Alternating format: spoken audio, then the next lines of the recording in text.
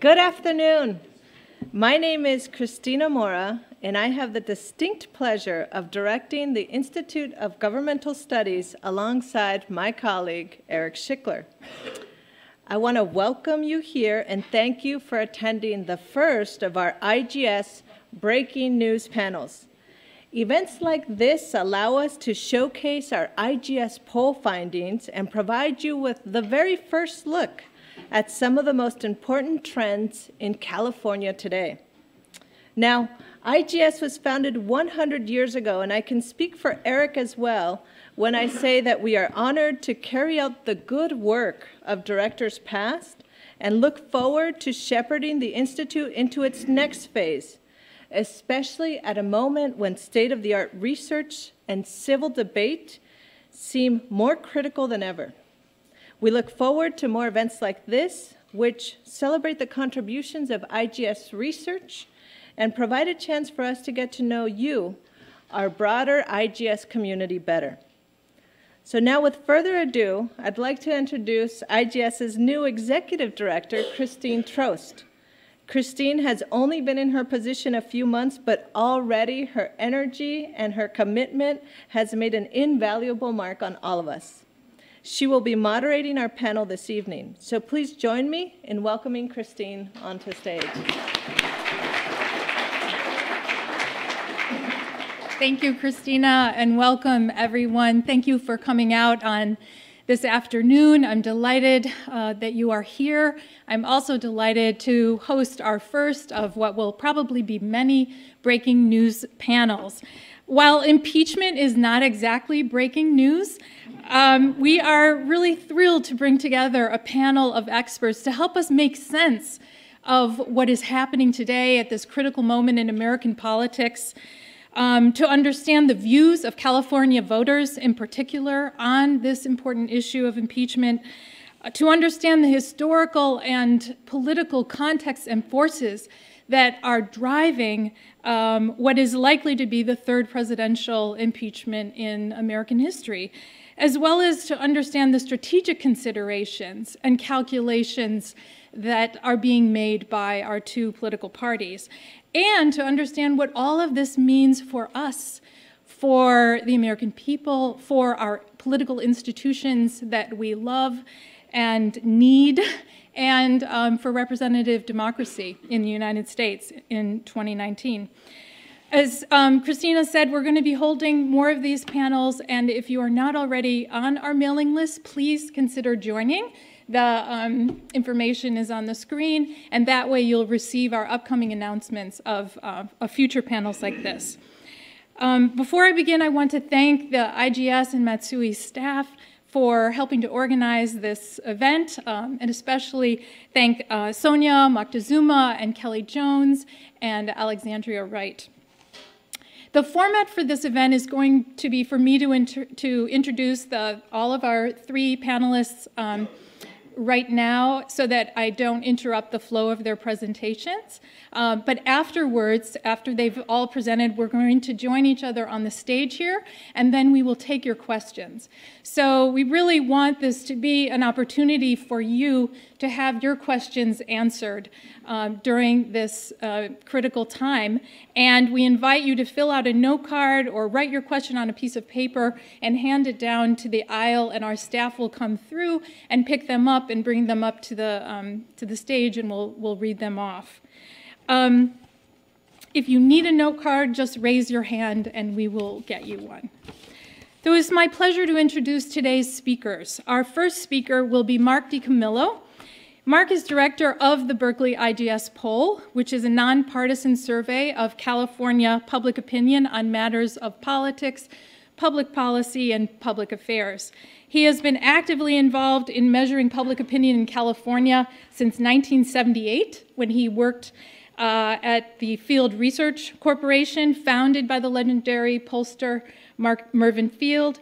He worked under Mr. Field as assistant director of the statewide field poll for 15 years, and in 1993 succeeded Field to become its director and served in that capacity until 2016.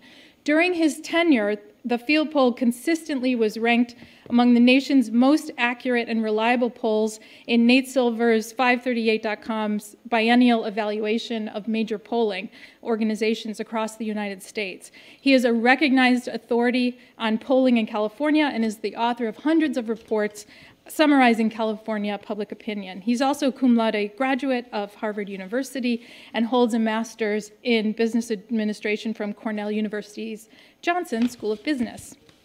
Our second speaker will be Katie Merrill.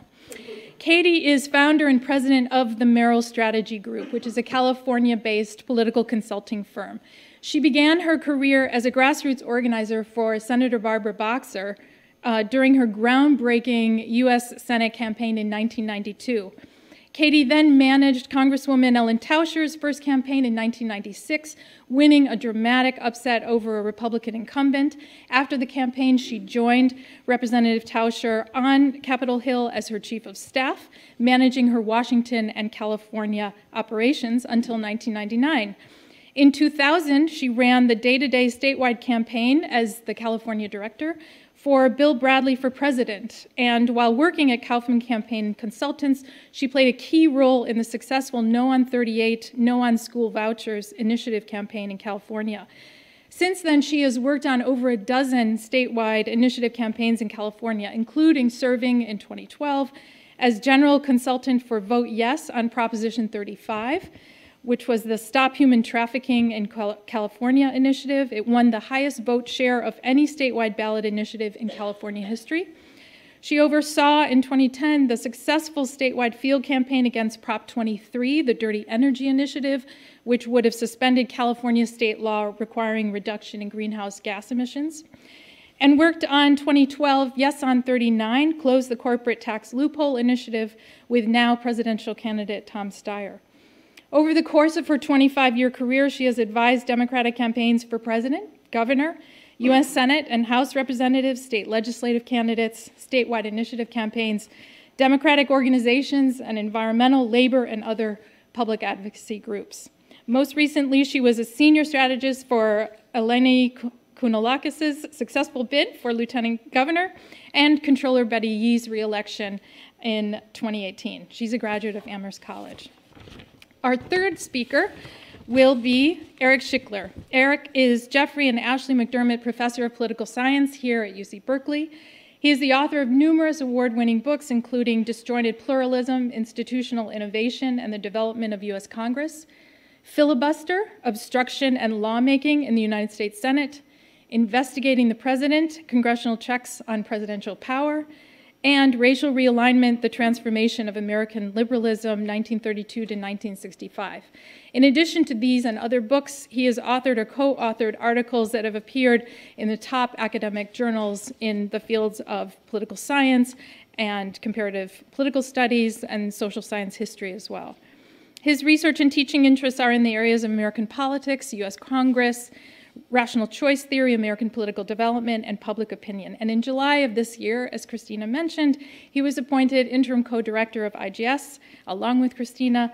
Um, and I am delighted to introduce all three of you and to have you speak at this event. And with that, I'll invite Mark up to begin your presentation.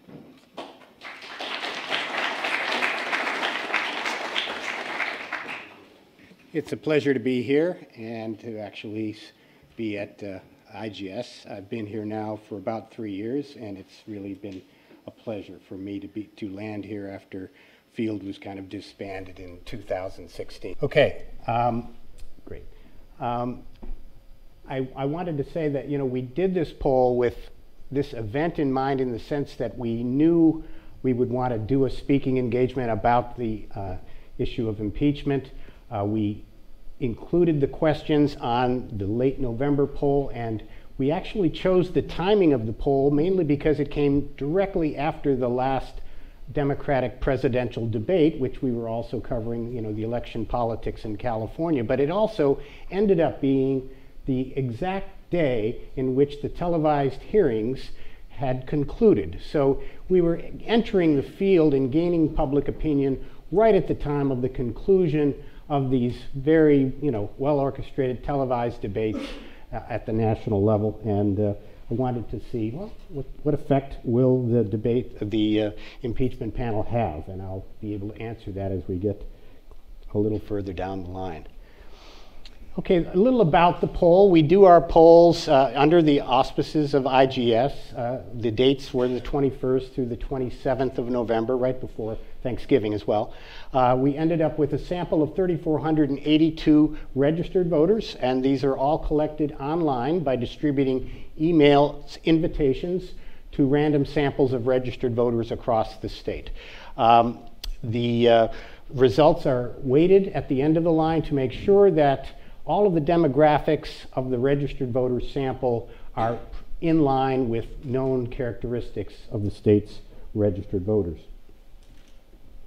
Okay, the first question in the impeachment series uh, was basically what do California registered voters think about the decision of the House to conduct an impeachment inquiry into President Trump? And here you can see uh, very overwhelming support. Uh, 65% of California voters approved of that decision, most of them strongly, 52%, 35% uh, disapproved. And as you can look at the party identification numbers, and you'll see these again and again on my slides, just interpret them as the percentages for each group. The Democrats broke 95 to 5 approve to disapprove. The Republicans 9 to 91. So polar opposites in their views on this question. The independents will be the interesting segment as we walk through this. Uh, they broke about even on the first question. How closely are California voters uh, saying they're following the impeachment inquiry? Again, right after the conclusion of the televised uh, uh inquiry. 42% of voters said they were following it very closely, 40% somewhat closely, 18% not closely at all. And you can see that there are big differences uh, depending on the party affiliation of voters. And let me just describe when we say independents, we are not including the leaners to either party. The Democrats include both the, the partisans who say that I'm a Democrat, and then if they say initially independent and say they lean to the Democratic Party, they're included as Democrats. So the independents are pure independents, and they're only about 13% or so of the state's registered voters, but they're a significant group, as you'll see. On the question of following the impeachment investigation, much lower proportion of them were following it very closely. Okay, the next question had to do with the perceived fairness of the House impeachment inquiry into President Trump's dealings with the Ukraine government, which was the subject of most of that two week period. Um, the vote here, again, was highly partisan. 50% overall said thought they were fair and impartial. 32% thought they were unfair and too partisan. 18% had no opinion. Uh, but look at the differences uh, by party, uh, certainly polar opposites there, but independents more likely to say that they were too partisan and unfair. Again, they're not paying that close attention either. Keep that in mind. California's registered voters were then asked how should the House of Representatives vote on impeaching uh, President Trump. 57% uh, of the state's registered voters said that they supported uh, the House voting yes to impeach the president. 30% uh, wanted to, their, them to vote no. 13% said they weren't sure or it was too soon to say. They wanted to hear more information. Partisan split, again, mirror images of one another. Democrats 85 to 3, Republicans 8 to 81. Uh, but independents on the fence 40 to 36, with the remainder 24% were saying it's too soon to say or they weren't sure. Okay, what would, should the Senate do uh, if the House does vote to impeach? Um, here we find that 55%, very similar proportion, thought they should vote to convict and remove Trump from office. 28% thought they should vote to acquit the president, uh, and a, a, fair amount of people, 17%, thought it was too soon to say for uh, what the Senate should do on, on the vote. Uh, again, party identification, very clear divisions there. Independents on the fence, 36, 31, and then the remainder is, I believe, 32. So uh, a lot of them were saying it's too soon to say or they were just unsure. If we then combine the results from both the impeachment vote in the House with the impeachment vote in the Senate, what we find is that 50% of California's voters supported both. They, they wanted the House to impeach and they wanted the Senate to convict. A 7% proportion said they supported the House impeachment but either opposed or were uncertain about what the Senate should do. 39% were opposed or unsure about both, that uh, they were unsure about the House impeachment vote or unsure or opposed the Senate conviction, and 4% were others. Now, who were the groups that were strongest in support of both uh, impeachment in the House and conviction in the Senate? Uh, as you can see, Democrats, uh, these are the party identifiers, 77%, uh, African Americans, 72%. Uh, voters with a, these are uh, all California registered voters with a postgraduate education, 61% in favor of both. Uh, the age segment that was highest in support was age 30 to 39. No surprise, the Bay Area, the highest among the regions at 57% for both uh, House impeachment and conviction. Women, 56%. There is a gender gap on some of these questions. Uh, Asian American voters, 56% as well. This is an interesting question. We also asked voters uh, whether they felt the House should focus more on impeachment or more on other national issues. And again, this is California, but viewed from 3,000 miles away, the voting population would like other national issues to be attended to. Uh, I think that may actually be one of the reasons they're moving this impeachment vote up very quickly. At least that seems to be consistent with what this poll would suggest. Uh, voters are getting a little impatient. They don't want it more long and drawn out. They'd like the nation's business to be attended to. Um, Democrats, on the other hand, are more likely to say more attention to impeachment, 52 to 30. Republicans are nearly unanimous, thinking that uh, more attention should be paid to national issues. And they're joined by independents by about a four to one margin. They think uh, more attention should be paid to national issues. We also included the job uh, ratings for both the House Speaker and the House Intelligence Committee Chair, Adam Schiff. Uh, this is the first time we've ever, I've ever seen a poll of Adam Schiff in the state of California. We've, we've done uh, lots of polls on Nancy Pelosi. In fact, when she was House Speaker during her first tenure, the field poll regularly uh, asked Californians what they thought about the job performance rating of House Speaker Pelosi. And I have to say that those ratings were generally speaking more negative than positive. And that kind of followed along with the national public opinion as well. Californians had more, more of them were disapproving of the House Speaker in her first tenure, uh, and especially the last three or four measures that we did in the final year and a half. So for Nancy Pelosi now, and this is the first measure that I've done, I've seen or that I've done on uh, her job approval rating in this tenure, she's now viewed positively. And this is, I think, a very significant finding.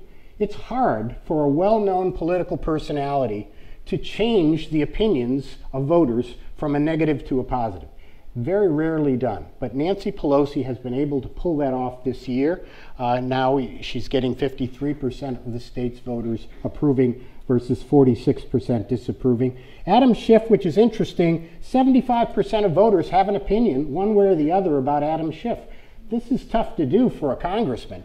Uh, and, you know, he's probably thinking, well, people know me now. That's probably a good thing. Uh, and these views, as you can imagine, are highly partisan, much more positive among the Democrats, much more negative among the Republicans. But his overall image rating is 44 approve, 31 disapprove. Now let's talk about the man who all of this is about. Uh, we have trend measures that date back to December of 2017, where we asked Trump's job performance ratings on a four point scale. The question is do you approve strongly, approve somewhat, disapprove somewhat, or disapprove strongly?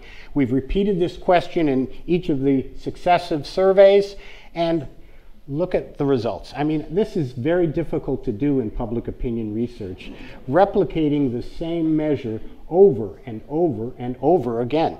There has been no change whatsoever that I can see in the job performance ratings of Donald Trump in California over this period. Started out at 66% negative uh, to 30% positive in December of 2017. It's now 68 to 32. Even if you look at the, the darker shaded uh, colors, that's the proportion who strongly hold to their views. So that even the proportions who strongly disapprove have remained very stable, as has the proportion who strongly approve. Very little movement. So, what is the end result of the House impeachment hearings on California public opinion? Negligible. And just to get confirmation of that, we do have a second measure that we asked, and we started that measure this year. It asks California likely voters, these are likely voters in the upcoming November general election, just a generic question How likely are you to vote to reelect Donald Trump for president? There's no uh, Democratic challenger named, it's just him on his own. And what you find is that absolutely no change in these measures either. Uh, starting in June, it was 66 31 in California. They're not inclined to uh, uh reelect the president. It's 67 to 30 in our current measure. Uh, that 37% gap, by the way, 37 percentage point gap, uh, compares to the election outcome in California in 2016, which was 30%. So if people follow through on just their general inclination, it'll be an even more historic wipeout uh, of, of, President Trump here in California. I don't think there's going to be a lot of uh, you know, polling done on, on, in California with, with much drama about who's going to win the presidential election here. Thank you very much.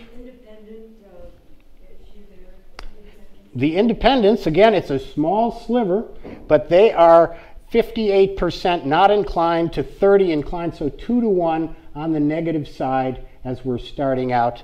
Uh, that's from the latest poll. So that does show that they're more inclined to be on the Democrat, with, along with the Democrats on this. Almost every Democrat uh, is not inclined to, to reelect the president. But uh, if you look at the independents on this, um, it's not looking good for the president. One other thing about independents generally, and this actually has more to do with no party preference voters, which is how you register as an independent in California. By and large, those voters tend to mirror the overall percentages statewide. I've found that again and again on questions uh, on politics usually the independents are closer to the statewide average uh, than either of the parties, which are obviously one way or the other. Okay, thank you very much.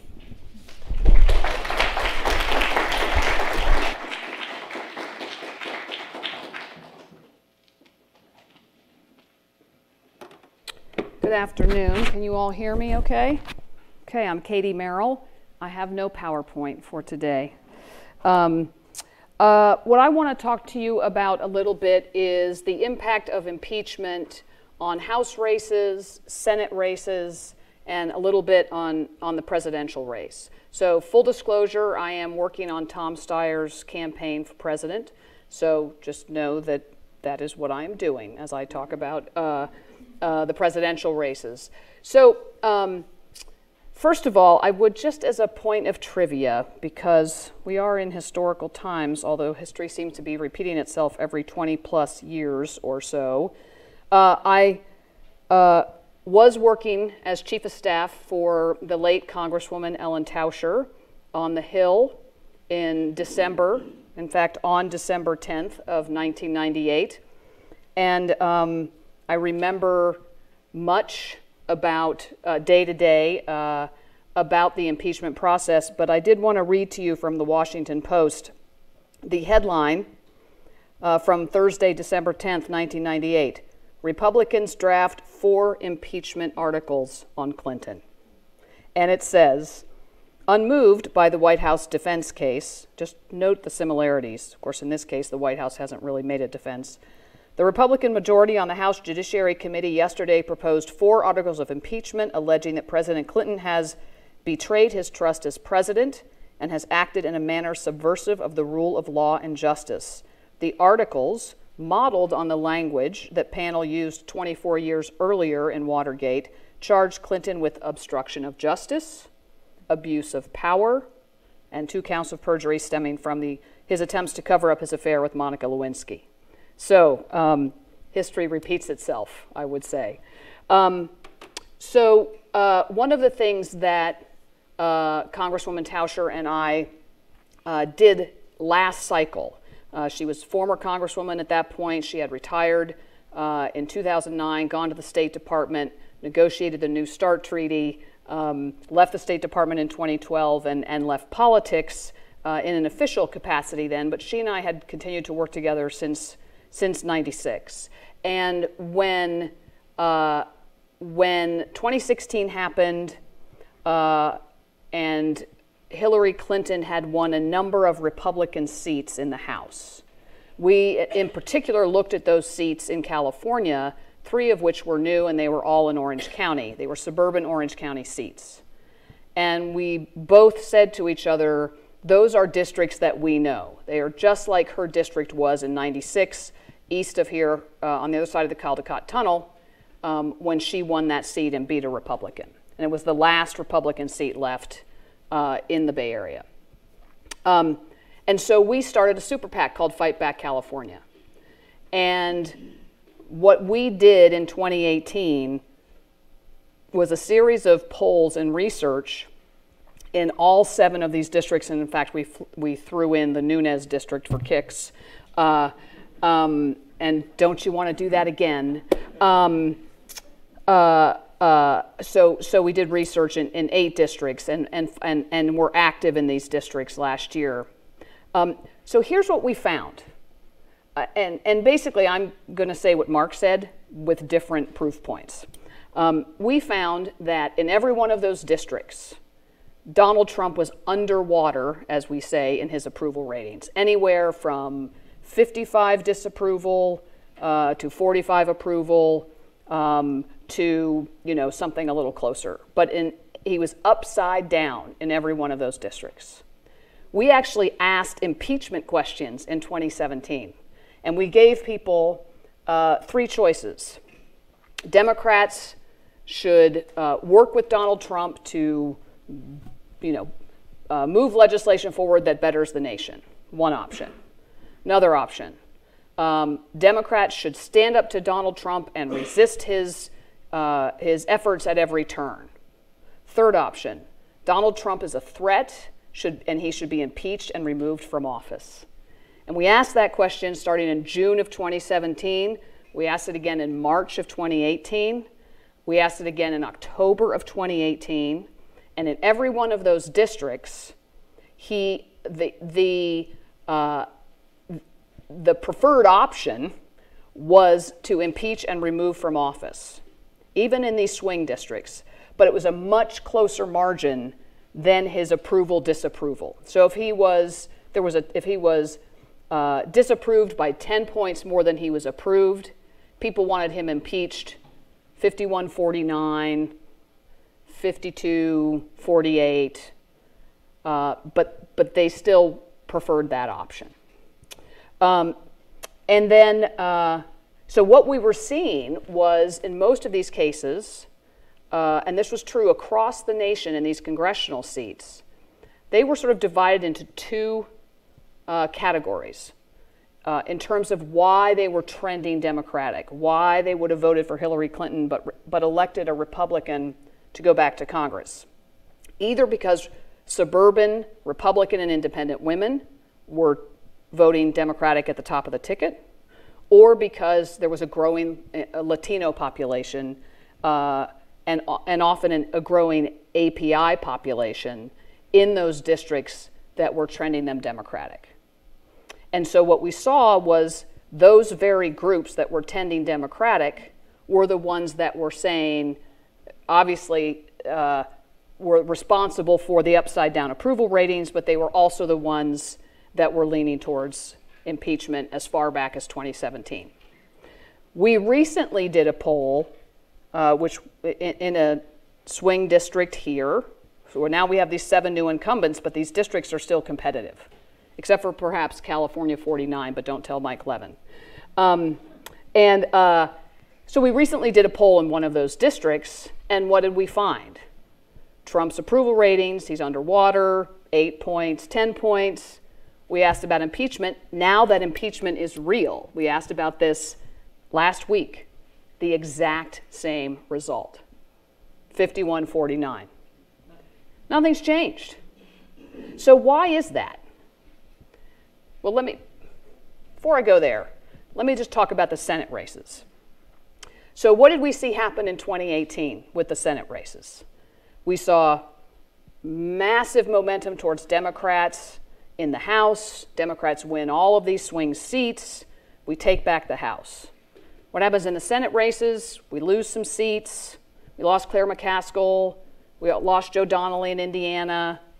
Uh, we picked up Doug Jones in the special. That was that was you know he was running against a sexual predator, um, who, if you may or may not remember that special election. Um, so, but, but we had the opposite impact, effect, opposite results in the Senate races.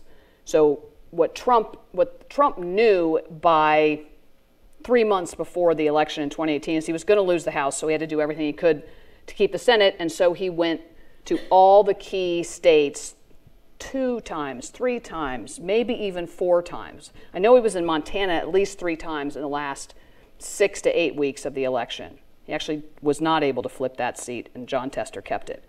But doing what he could to turn out his base, because these are the elections we run now, in order to defeat the Claire McCaskills and Joe Donnellys of the world and, uh, and keep the seats he needed to keep. So, as much as uh, Trump's um, uh, approval ratings and performance and popularity helped Democrats in the House seats, um, and the and the Kavanaugh effect, which we did a bunch of research on and found that the Kavanaugh effect was positive for Democrats in these swing seats and negative for Democrats in these Senate seats. So here we are today. People, uh, Democrats are very focused on trying to win back the Senate. In my opinion, to the detriment of keeping the House, makes me very nervous. Um, and uh, and we only need four seats. I think it's four seats to tie, because then and then uh, hopefully if we get if the Democrats get the presidential seat, then they have the tiebreaker vote with the vice president. I think it's five seats to win. I could be off by one there, but what's happening in those seats? So where are those? That's Maine, Susan Collins. Uh, that's Tillis in North Carolina. Um, there's the two seats that are up in Georgia. Uh, both are Republican. The special we probably won't win we have more chance of winning the, the regular full term, but still a long shot. Um, you've got Cornyn in Texas. Um, uh, you've got Cory Gardner in uh, in Colorado. So there's a number of uh, you've got Joni Joni Ernst who's vulnerable in Iowa. There's a number of these Senate seats that are up, but the same effect is happening, which is these are Republican states where Trump is popular and the impeachment is working against Democrats there. Um, and so we sort of have a similar kind of set of dynamics that are working against each other, House and in terms of the House and Senate, uh, to what was happening in 2018. And then you get to the presidential race, where in fact I don't think impeachment is really going to impact the presidential race because the presidential race is between Donald Trump and a particular Democrat, whoever that might be. So that becomes uh, uh, a choice, a specific choice between voters, uh, for voters between these two candidates. The only issue is whether uh, in places like the Florida Panhandle, um, in places like uh, northern Wisconsin and the Iron Range in Minnesota, um, rural parts of Iowa, do those Republican voters turn out in droves? because of the impeachment inquiry um, uh, that is going on right now? And, and is that an overperformance over 2016, which would take a lot because those Republicans really overperformed in 2016 because of their uh, uh, deep, deep, visceral dislike of the Democratic candidate? So, um, so uh, the question is sort of why is everything in stasis? Why, is this, why are the same dynamics in play in 20, 2019, 2020 that were in play in 2017, 2018? Um, now that we're actually in impeachment, why hasn't that moved anything? Now, my theory is because the, um, and I'm a Democrat, so I speak in a partisan way, as much as I like to analyze thing, things. The awfulness of this president, this presidency, uh, this reality TV presidency that has broken every norm that we've known in our lifetimes, that makes Richard Nixon look like a Boy Scout, that, um, uh, that is, that is uh, just demonstrating criminality and venality every single day, uh, has been embodied in this guy as a reality TV show celebrity for 30 years. We've all known this about him for decades. He's just doing it from the White House now. People knew what they were buying when they went and laid their money down for this president uh, in 2016. So the people who are with him are still with him. The people who were never with him are never going to be with him. And then we've got these 13% of independents in California and probably similarly, similar small amount across the country that on the margins are moving slightly, um, but not much.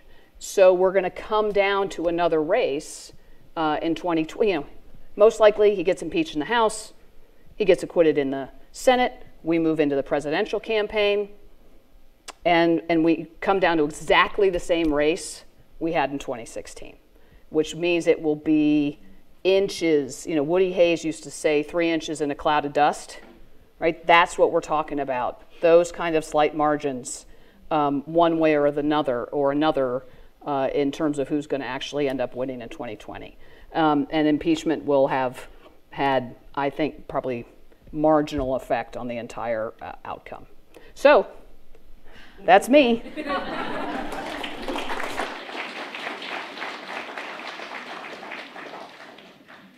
First, want to thank Mark and and and Katie for for their great comments, which I'm going to build off of. And I also just want to take a moment to thank uh, the IGS staff again, uh, echoing Christine and Cristina for all their great work putting this event together. So I'd like to say that uh, my comments offer. I wish I could say my comments will offer a more optimistic take on the meaning of this impeachment battle, but I, um, I honestly cannot do that. So I'm going to offer you, hopefully, a take that puts in historical perspective and a little bit of theoretical or institutional perspective some of the reasons behind uh, what Mark and Katie were talking about, and then also think about the implications. The biggest thing I want to talk about really is to think about the implications of this impeachment battle for what it says about the robustness of our democratic institutions in the United States. And yeah, I see a couple of my uh, Poli Sci 103 Congress students with apologies for saying some of the same kinds of things that they've been listening to for several months. Uh, so I actually start out actually uh, really all of my American politics courses here at Berkeley with, uh, with the, thinking about the question of what it takes to sustain the United States as a stable republic. And we go back to Madison and, and the founding not because they were necessarily right in a lot of their predictions, but because the analysis they offered, I think, offers a really useful lens to think about these questions. In particular, Madison, in the Federalist Papers, famously puts a lot of reliance on institutions to maintain a system of stability, where we create the separation of powers. We have three separate branches, and then we provide checks and balances, giving each branch kinds of mechanisms to check one another. And the claim is that what that does is prevent any one branch from becoming a tyrant and from abusing its power. And Madison notes in, in the Federalist Papers that it's not enough just to write down and have these three separate institutions. You have to build in kind of pr protections for the stability of the system. So what he talks about is giving each branch both the constitutional means and the personal motives to defend the power of their own branch. And so what Madison talks about is the ambition must be made to counteract ambition, right? And so I want to use that as a kind of lens to think about this um, as we talk about, about impeachment today, both in terms of means and then in terms of motivation. All right, so if you think about Congress's means to fight presidential abuses, there are really three kinds of categories. First is legislation. You know, president does something that oversteps the president's authority, well, you can try to pass a law to reverse that. But obviously, legislation faces a veto problem. The president has the power to use the veto to stop legislation, and then you need two thirds majorities in both chambers to override that veto. So that's going to be a really limited kind of check in practice. So limited means it's turned out historically. Another option is investigations. Congress, from the founding, has, has asserted the authority to exert oversight over the executive branch and to call in executive officers to testify about what their actions are to defend themselves and answer questions from members of Congress. And you can think of this, again, as another check, a way if, if, if the president or the president's administration is misbehaving, you can call them to account, force them to face Congress and then through that the people. And one of the findings that uh, I've done some work on investigations with Doug Kriner in this, uh, where we, one of the things we find is that intense investigative activity historically has had a real impact on presidents' approval ratings, bringing them down, and on policy in the long term, shaping, forcing presidents to kind of adapt due to public pressure that gets raised. So investigations are an important tool under the Constitution, but while investigations can be effective, they can also face stonewalling. And there's a long tradition of presidents trying to resist these investigations by claiming, for example, executive privilege. Um, historically, though, when presidents have claimed executive privilege, uh, first of all, the claims have been limited in scope. They've tried to protect particular aspects of their deliberations, but not wholesale stop Congress from asserting oversight. And, uh, and they've typically ended up being resolved through kinds of informal negotiations where the president at least gives some ground. Trump administration is really exceptional in this regard in making a blanket claim of executive privilege, refusing to systematically turn over essentially any documents and allow and, and is essentially refusing for any of their officials, though we have had some essentially against their instructions now testify, but basically blocking testimony from a whole range, much wider range of officials. So then, so then this in turn makes investigations a much less effective kind of tool if you can't gather this information, right? So then the third, what's the third constitutional means? Well, that's impeachment, right? That impeachment is the ultimate club when all other mechanisms are failing institutionally. And that actually makes understanding impeachment, I think, really central. It's a rarely used or should be a rarely used power. But if you think about ultimately what's going to deter presidents from extreme forms of misbehavior, there really are two things. One is impeachment, and the second is elections in the end, in the final analysis. Um, so that makes understanding how impeachment works really important. So that's in terms of means. I want to make the case that this is really important. And so the potential breakdown in this process is really important, as we'll see. All right, so that's means. What about motivation? Well, I think, and this is, I think, actually, if you think about what the framers got wrong, like if you think, what did they misunderstand fundamentally or miss? I think the most important thing that they missed is that they didn't account for the role of political parties. They saw parties as a possibility, but their hope was that they would avoid the creation of political parties. That was, that was the goal. And in that context, you could imagine members of Congress having their institutional interest. As a member of Congress, your stake is in Congress and its power being really important. And so when Congress's power is threatened, members will defend that power. But what happens when you have party in as a rival motivation is party can essentially out, you know, trump, pardon the, the uh, play on words, trump institutional motivations. And so, as we see now with, with Republican politicians uh, in terms of defense of Trump, uh, we see, I think, quite their partisan interests really leading them to not worry about congressional power in the way that the founders expected them to do.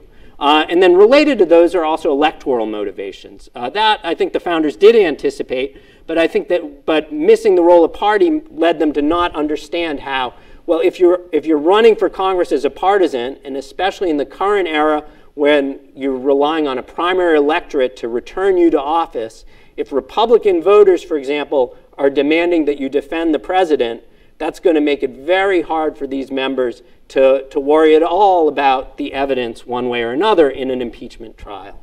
All right, so Uh, so this is suggesting that the, while the means exist, the motivation may, may not.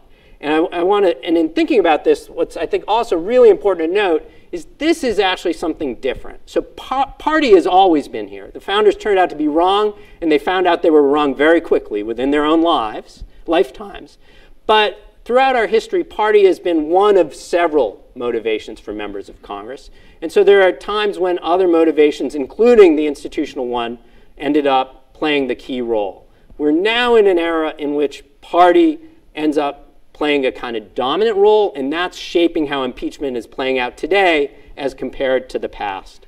And so just to give you, you know, quick summary of what's been going on, though you all, I think, are familiar with it, um, you know, the House vote to launch the inquiry, all Republicans opposed, all but two Democrats in favor. The House Intelligence, vote, Intelligence Committee vote on the report, a perfect party line vote. Um, and I think everybody's expecting that the vote on the impeachment articles will have all Republicans opposed uh, and probably all but a small handful of Democrats in favor.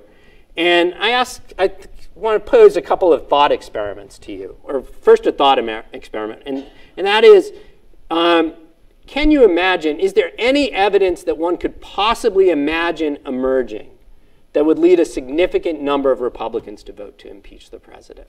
Right? Like I thought, like what would it take? What would have to happen to lead a significant number to do so?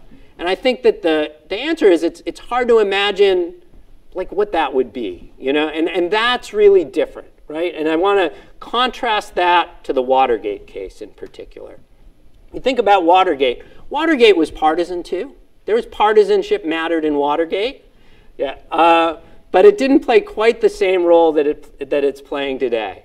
Uh, and so, um, and, and there are two sides of it actually. First of all, it's worth noting among Democrats, there are a lot of Southern Democrats that were skeptical of taking on President Nixon at the start. And there are a lot of Southern Democrats in Congress in important roles, roles in this period. And they had to be brought along to the idea that impeachment was justified. At the same time, there are a lot of Republicans who are inclined to defend the president. But what we saw in Watergate was a responsiveness to events that, we, that Mark's data and Katie's discussion shows just is not happening today. So a kind of key moment in Watergate is when Nixon in October 73 orders the firing of Special Prosecutor Archibald Cox, right? And this is the famous Saturday Night Massacre where uh, initially Elliot Richardson, the Attorney General, refuses to fire Archibald Cox. So he resigns. Nixon uh, asks Ruckle, uh, William Ruckelshaus, his deputy, to fire. He orders him to fire Archibald Cox. He refuses and resigns. And then finally, Robert Bork, the third in line, agrees to fire Archibald Cox. Now, what's noteworthy about that is once Nixon did this, you get prominent Republican senators, in particular Ed Brooke of Massachusetts and Charles Percy of Illinois, who soon after call on Nixon to resign. Right? So they are looking at these events and are sufficiently troubled by them that they call on Nixon to, to leave office. And in the end, one third of Judiciary Committee Republicans voted for impeachment articles against Nixon, right? Where start out, none would have been in favor. But uh, by the end, one third. And, and I think what's, a, what's important to note is, you know, that still is partisan. You know, you have all the Democrats on one side and two thirds of the Rep- Republicans on the other. But if you're an ordinary voter looking out at this and you see some prominent Republicans, like Percy and Brooke, and you see a bunch of House Republicans as well voting against the president, that sends a message to you. Hey, maybe this isn't purely about party, right? Maybe something else is going on, and that in turn will lead voters to update their views. All right, so here's a contrast to the stability we see here. Right, I said, so here's Nixon and Trump approval by voter partisanship during the Watergate era. Notice um, red line is Republicans, the middle line is independents, blue line is Democrats. Notice Nixon starts out looking quite a bit like Trump among Republicans, support in the 80s, right? And he's never popular among Democrats, but he does have about half of Democrats in support at the start. And then look what happens as, as Watergate, oh, uh, do I? Not used to. There we go. Look what happens as the hearings start. This is, he's reelected in 72, massive landslide. And then look at this decline among Republicans, independents, and Democrats. as Watergate's un unfolding, a gradual erosion in presidential support that in turn is allowing or leading these Republicans to take on the president as well in Congress, right? Um, contrast that to Donald Trump. This is the same story that we got from Mark. This is just with national data. Uh, 2019 job approval. Here's the Republican line. Perfectly stable. Independents, perfectly stable. Democrats, perfectly stable, right? Not, and so that, um, so that events just aren't moving the public, um, and, and as a result, that's going to affect the incentives for elites, for political leaders. All right. Why, is, why are things so different? Um, this is a cottage industry. Political scientists spend a lot of time trying to understand this. I'm just going to very briefly say a couple things about it.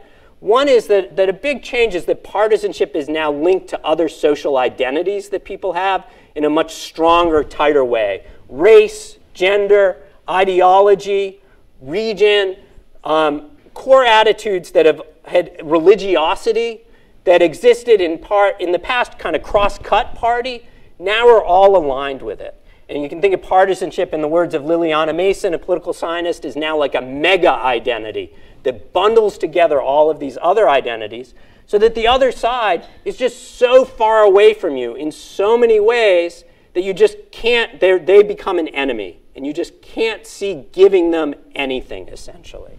And, and that, in turn, is going to make you know, a, an official like Trump, who ends up being very tied to the, a lot of those identities, you know, a very strong object of identification. For some people, he is their hero. For others, he's their enemy. And it, there's just no information that's likely to change that. Uh, and then alongside this, this gets reinforced by the fact that partisans now live in information universes that promote this or make this self-reinforcing. In Watergate, everybody, if you wanted to see what's going on, you watched ABC, CBS, or NBC nightly news, and you got the same news from all of those stations.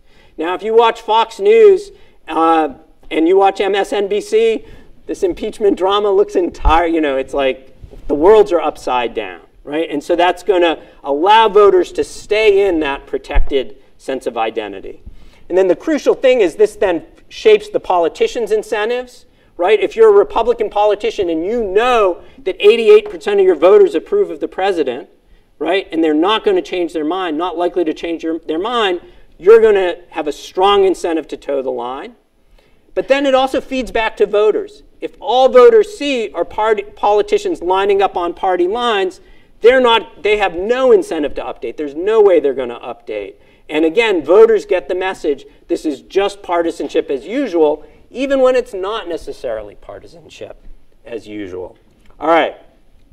So I want to wrap up my comments by asking, thinking about where does this leave the Madisonian system, right? So it sounds, you know, partisanship, it's been with us for a long time, but when it becomes this kind of a force and it overrides institutional motives, it, it leads to the question of whether impeachment can actually work as a check on presidential power in this highly polarized era, right? So in other words, if we have an impeachment and the outcome, as everybody tells us, is essentially preordained, the House will vote to impeach, Seems almost certain, you know, unless video emerges, and even in that case of Donald Trump shooting people on Fifth Avenue, the Senate will, will acquit.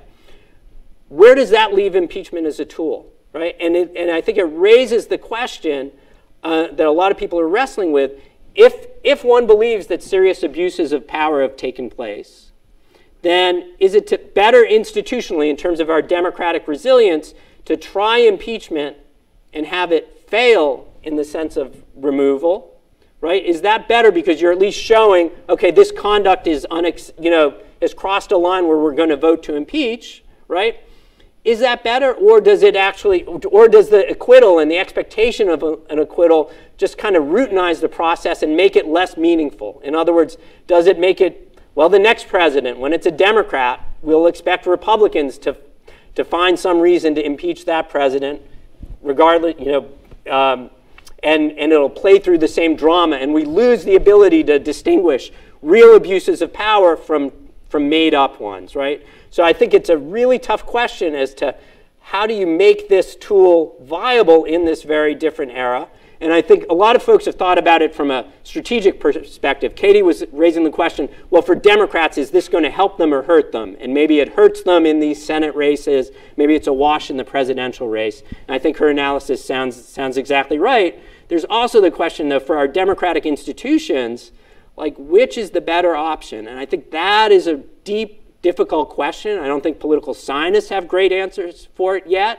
But I think it's really what's facing us now as we think about our institutions. And then finally, I just maybe leave you with a slightly more optimistic note, which is okay, well, institutions are one check that may well be breaking down. Another check, the last one, uh, is elections, right? And so, um, in the end, bad behavior can be addressed at the ballot box. And that's, you know, and if going back to the founding, that was, you know, the hope was I think the way they thought of it was um, that elections would be the usual check and institutions are the fallback when all else fails. I think now it may well be reversed, where institutions may well be failing, but elections are what might ultimately hold individuals accountable. Thank you. Um, Want to again invite the audience to um, write down your questions and send them to the aisle so that we can bring your voices into this conversation. Uh, but I'll just start things off um, by mentioning there was, in fact, some breaking news today, which is that the um, House Judiciary Committee's Democratic majority released two proposed articles of impeachment. One charges abuse of power, that Trump used his office and the powers of the presidency for, quote, corrupt purposes in pursuit of personal political benefit, unquote. And then the other charge uh, was uh, that Trump uh, obstructed Congress for, quote, directing the unprecedented, categorical, and indiscriminate defiance of subpoenas, unquote, uh, that were issued by the House, and also directing executive branch officials not to cooperate with the impeachment inquiry. So we have two articles of impeachment that um, are likely to move forward. These seem to be narrower than what some political observers were expecting, were perhaps hoping for. And so I guess I, a question for you is in terms of both strategic and institution through, the, through a strategic as well as an institutional lens, was it wise to go with this narrower focus rather than including, for example, obstruction of justice stemming from the Russia investigation outlined in the Mueller report? Um, and do you think that these charges and the accompanying claims now, I mean, it's really concrete. Impeachment isn't just a single word, but now we know what impeachment means here these, through these two articles. Um, there's additional text in these articles. It's a nine page document. You can download it if you, if you haven't already. You can read these. Um, these articles, but they claim that, quote, President Trump used the powers of the presidency in a manner that compromised the national security of the United States and undermined the integrity of the United States democratic process, unquote, and that he will, quote, remain a threat to national security and the Constitution if allowed to remain in office, unquote. These seem different from, let's say, the Nixon era or the Clinton era. And so, will, um, I guess the question is, will, will this resonate um, with American voters, especially the independent voters that have been mentioned so frequently in all of your presentations, the swing voters who will likely um, decide the next election. So I guess there are two questions there. Um, one is about the wisdom of the narrower focus, both strategically and in terms of our institution, um, and the responsibility of impeachment. And then um, public opinion is this what's going to get uh, independents and swing voters interested? This uh, this type of charge, this language? Well, I guess I'll start it off. Um, I don't think we should expect changes in public opinion. I, am just conditioned by our mm-hmm. polls to date. I kind of look at the world through a rear view mirror. I always tell people I take a poll mm-hmm. and I can see what just happened. Uh, I can't really look around the corner with the mm. poll until I do the next poll, but I guess I'm not expecting mm-hmm. much movement. Uh, the narrower perspective, you know, might go to the argument that uh, many Republicans have been making, which is this thing is just a continuation of this year-long, two-year-long uh, investigation uh, of the president on so many different, you know, starting with Mueller. But that I don't have data for, so I'll hold, stop it there. Well, the one, uh, the one movement we saw was in the national polls for impeachment. It went from about 43, 44 to about 51 right when the whistleblower report came out, that, that sort of week, two weeks. And that is the movement that I think we will see. And those were independents moving towards an, uh, support for an impeachment inquiry. Um, and, uh, and I don't think we're going to see uh, any real movement past that point. I do think, but I think that's the reason that the articles were drawn so narrowly.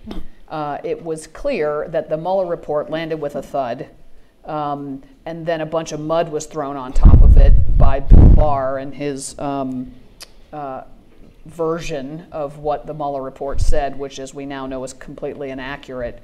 But because he, just to go down this bunny trail for a second, because Barr hijacked the narrative around the Mueller report and what it said, it you know uh, it was it was too late once that 10 days passed uh, to actually communicate to the American electorate what truly was in the Mueller report.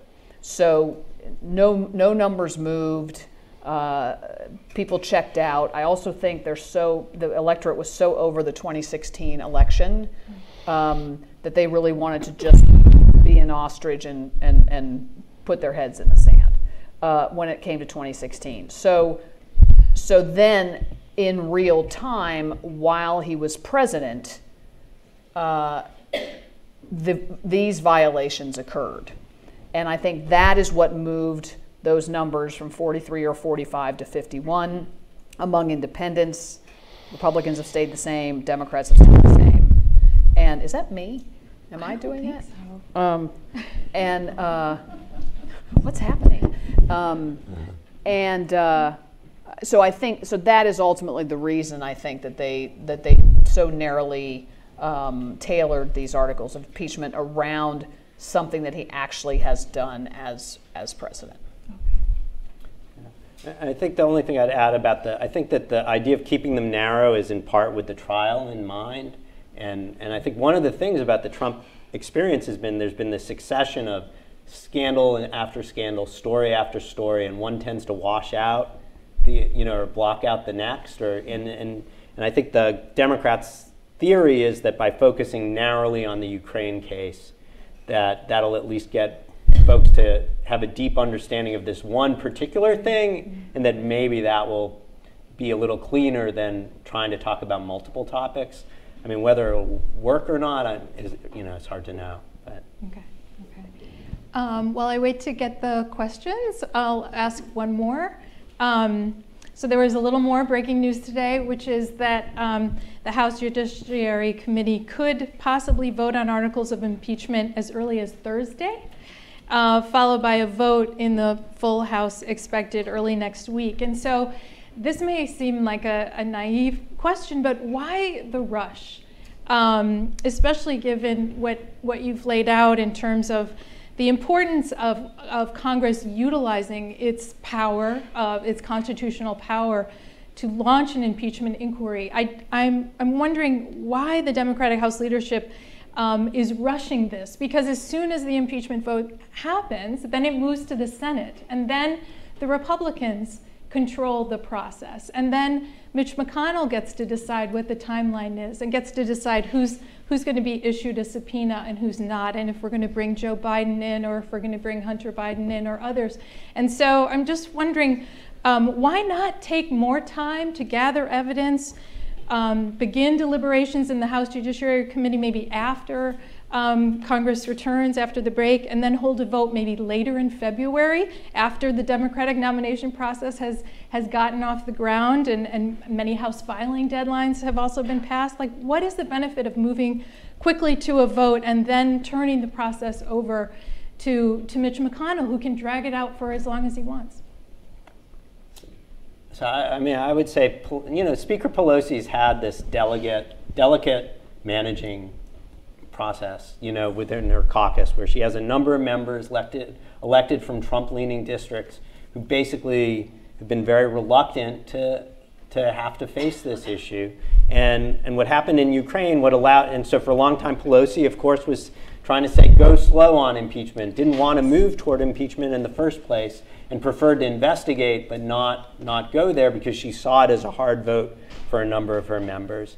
Uh, I think the Ukraine whistleblower, that sort of essentially forced her hand and also, but also allowed a number of those moderates to say, okay, this is enough. This is the line where we are supportive. But I think even with that, I think the speaker has viewed this as a hard issue for her, for some of her members.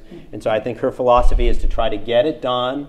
She sort of, I think she herself doesn't believe it's going to result in conviction, and therefore uh, her and she fe- worries about exactly the dynamics Katie talked about about it helping mobilize the other side. So I think she feels like she has an institutional responsibility to do this to defend the power of Congress, a partisan, but also partisan responsibilities to balance what are many of her members most want her to do this, but also those who are reluctant. And so I think she's continuing to, you know, we can second guess those judgments, but I think that's the calculus that's driving it. Yeah, I, I agree. Okay, great. Okay, here's a question. Um, please discuss the impact of party asymmetry on impeachment and democratic resilience. Might be one for you, Eric. yeah. Uh, okay. Sure. So I mean, there's I would a, like a definition of terms. Okay. Party, party asymmetry. Please. So asymmetry is the idea that Republicans basically either move further to the right than Democrats to the left. So polarization is not symmetric in that sense. Also, though, that Republicans have tended to be um, more um, willing to play hardball institutionally. So, for example, things like the Merrick Garland Supreme Court case, uh, things like the voter ID laws that have been passed. So then the question is, how's that playing out? And I think that that it actually, I think that raises like one of the hardest questions, um, which is which is the following: If it's the case that one party has um, adopted a, a stance in which they're willing to go to bat for a president who's done things that in the past were just beyond the pale for either party. And, and is willing to make arguments that the House members have been making that are just, you know, seem like the concern for the truth value of the statements is basically close to zero or zero. So if you're in that world, so the question is, what's the right response for the other party? What's the best response? And there are a lot of political scientists who've been writing things about the importance of norms that basically say if norms are eroding in democracy and one party is violating norms, it's going to be worse if the other party does it too, because then that creates a vicious cycle, right? So, for example, Republicans, you know, deny Garland, so what Democrats should do is pack the Supreme Court when they get the majority. Mm-hmm. So that's one, and so th- this argument is like, well, if Democrats do that, Republicans will do something even more the next time, and it'll just devolve, right? And so that's, that's the cautionary side. The, the flip side, though, is if one side is playing by one set of rules and the other side basically, you know, sort of refuses to, you know, tries to abide by the old sets of norms, right? That might be, you know, that may not work as well either, right? Because you're basically almost like unilaterally disarming in a sense. And so, so I think that's, a, I think that is really the hard question. I actually was, um, you know, talking to, I was at a conference on the future of liberal democracy, and, and the line I was pushing is the thing we really don't understand is, is what does a party do? Everybody's focused on the Republicans, right? A lot of people are focused, what's gone on with the Republican Party? But I actually think the deeper question now, or bigger, you know, is what do the Democrats do in response to that? And I, I don't think we have great answers yet for that. Here's another one. Many people voted for Trump to shake things up, but not to have a scandal ridden cabinet and use his office for his personal benefit. Why isn't this resonating with Republicans? Well, um, I don't think there's a difference. I think they, I think the people who voted for him and are loyal to him, um, look, they think all politicians are liars and cheats and feather their own nests. That's what th- this portion of the electorate thinks. Trump is better than most politicians because he does it in the open. He does it with glee in their minds, right? He's not he's not lying about doing it. he's just doing it. And so when they sent him there to shake things up, I think they were like, yeah, I know what we're going to get, but at least he's like right out there about who he is and what he's going to do. And, um, you know, for other people, that's horrifying. Whether you're an institutionalist, whether you're a partisan Democrat, whether you're an independent who believes, you know, that democracy is something that's actually worth uh, saving, uh, uh, preserving. Um, but for the folks who are, you know, wearing the "Make America Great," again, hats, soon to be, I guess, "Keep America Great" hats. Um, that's what they voted for, and that's what they wanted. And so I have to say, look, a lot of that's on us, meaning those of us who have been in the in the Democratic establishment, who made promises, who who elected officials who made promises about yes, you can keep your own doctor when we completely reform the healthcare system, right? I mean, you know, we uh, on the Democratic side have um, uh, have played a role in um, in the voters losing trust in politicians and institutions, and we have to own up to it, um, and and and we have to figure out what to do about it.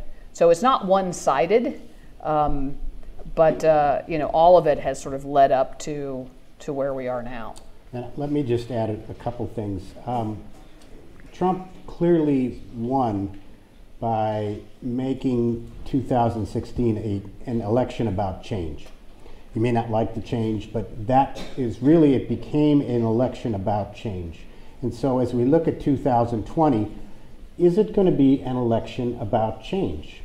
Um, that's a fundamental question, and it really, I think, is going to boil down to who the Democrats are going to choose for president. Uh, because I think some of the candidates can make the argument to make it a change election a lot stronger than other candidates. And maybe that's not the winning formula. I'm not trying to advocate necessarily for the change candidate, but it really is going to boil down to the candidate that they choose as to what the tone of the campaign will be. Will it be incremental change or return to normalcy, or will it be a change election, which is what Trump promised and is going to now have to defend? Okay. Um, here's one for all of you. There was an influence campaign in 2016 to discredit Hillary Clinton by fabricating an issue with her emails. Why do you think voters were influenced by disinformation then? but not influenced by Trump's behavior now? Well, I think I dispute the premise of the question. Um, uh, well, I mean, I think, so let me just speak about the disinformation campaign in 2016. Um, we should expect that there will be an equally uh, strong disinformation campaign in 2020, if not stronger. We should expect there will be multiple foreign actors, not just Russia.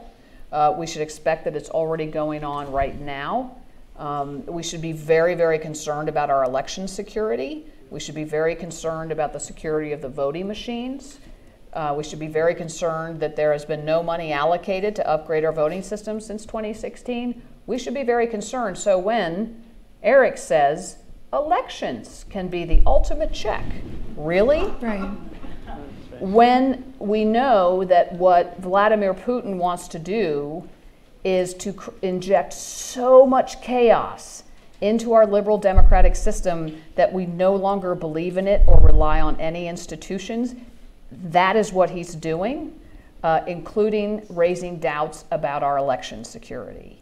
Um, so there was an article from last November, that is a month ago, about a county in Pennsylvania, I believe it was outside of Philadelphia. Do any of the political scientists know about this in the room? That had a, a massive voting machine malfunction. And the only way that it was rectified was because they bought, these were new voting machines, so it's a good news, bad news scenario. Good news, or bad news, new voting machines completely broke down um, and, and spewed out wrong results.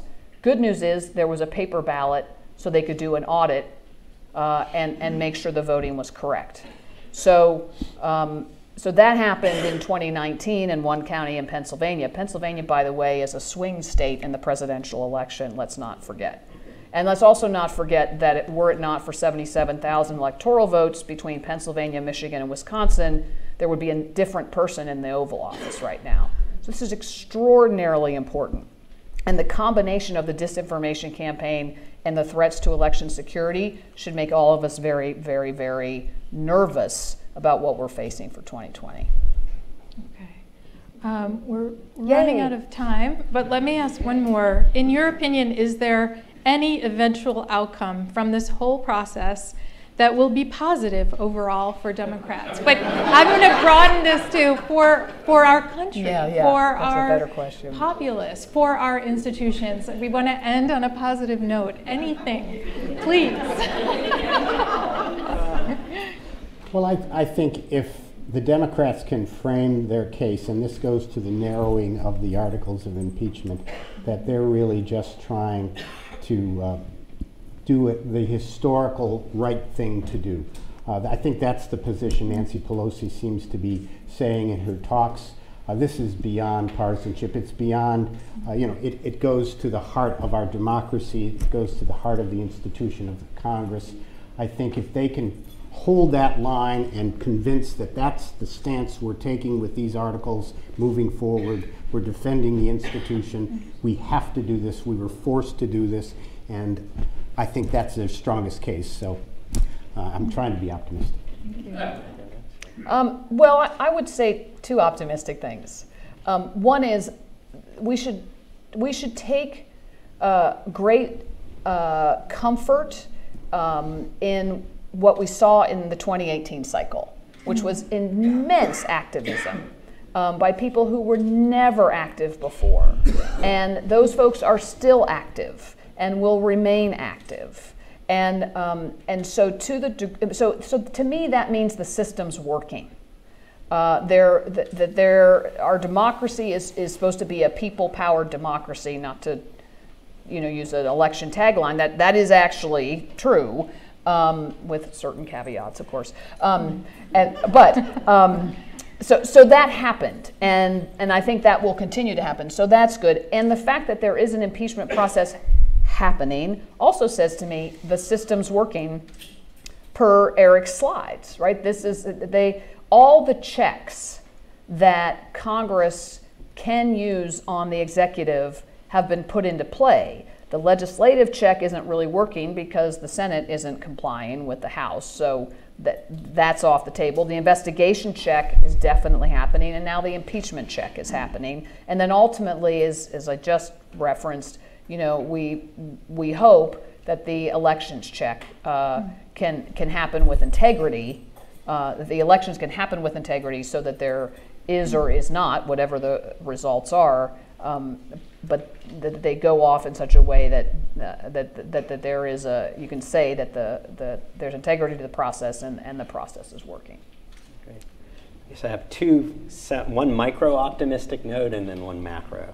So the micro one is like we shouldn't, while it seems, while it's pretty clear cut that the Senate outcome's not going to be to convict the president, we shouldn't let off the hook entirely the, the handful of Republicans like a Mitt Romney, like a Susan Collins, mm-hmm. who at least potentially Lisa Murkowski, who one could at least envision circumstances um, um, under which those individuals would vote to convict. Mm-hmm. And in the long run, the message sent by even if it's just a handful of Republicans voting, mm-hmm. is a different one than if it's than if it's purely partisan. So I think that's one point.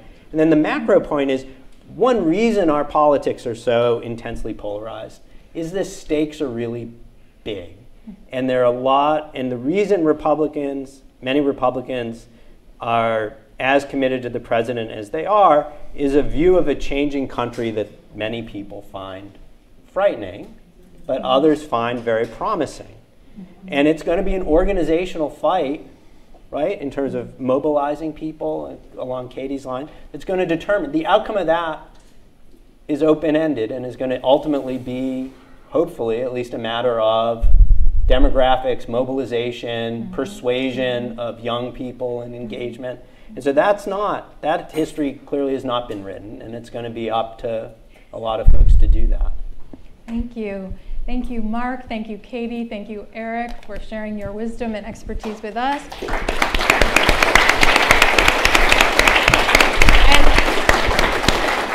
thank you for all of you for joining us for your questions, and we hope to see you at future events.